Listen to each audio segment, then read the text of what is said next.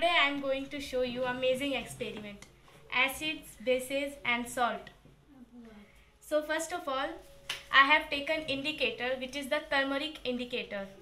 You can use another indicator instead of turmeric indicator just like litmus paper, red cabbage indicator etc.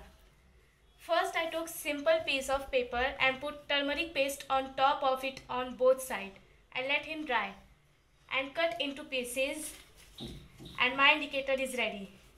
So here I take lemon juice which is acidic. Second one was detergent solution which is basic and third one was salt solution which, which is neutral. Now we have to take all these indicators and dip each indicators into each solution.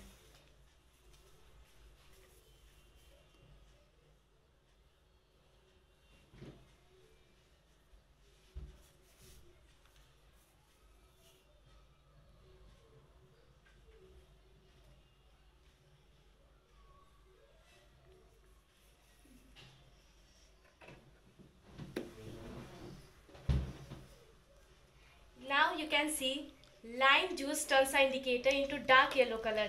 It means they are acidic. Detergent turns a indicator into dark red color. It means it is base. Now salt solution are in same color. It means they are neutral.